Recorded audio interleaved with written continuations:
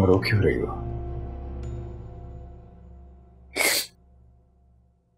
अल्लाह बहुत मेहरबान है। तौबा करने के बाद इंसान के बड़े से बड़े गुनाह माफ़ कर देता है। लेकिन अल्लाह के बंदे इतने संदिल क्यों होते हैं मैंने तुमसे कहा था ना कि बेवक्त मुझे कॉल मत करना तुम तो अपनी औलाद की खुशियाँ मना रहे होगे तुमने एक बेटी खोई और दो बेटे पाले मेरी तो तीनों बेटियाँ मुझसे मुँह मोड़ गई। तुम्हारी बेटियाँ तुम्हारी शादी ना तस्लीम कर सकी, ना बर्दाश्त।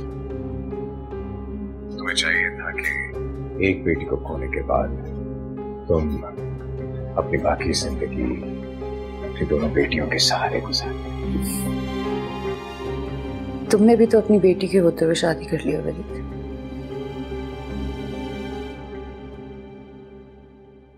मेरी बेटी उससे बहुत छोटी थी वलीद एक बार मुझसे मिल लो। प्लीज़ एक बार। अब तो तुम्हारे बेटों की शादी भी खत्म हो गई है। बस एक बार।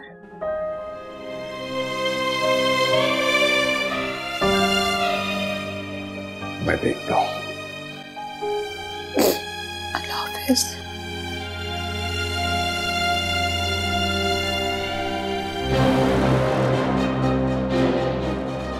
ये क्या बदतमीजी है? ये बदतमीजी है? मेरी बीबी फ़ोन पर अपने एक्स हस्बैंड से माफ़ी तलाफी कर रही है। इसे क्या कहोगी तुम? मैंने वलीद को कॉल नहीं की। अच्छा। नहीं की तुमने वलीद को कॉल? लास्ट टाइम अभी मिलाता हूँ। शक कर रहे हो मुझ पर? तो क्यों ना करूँ शक? तुम वलीद से ही बात कर रही थी। मैंने खुद सुना है। वलीद से बात करो? बहुत से मामला तय करने में।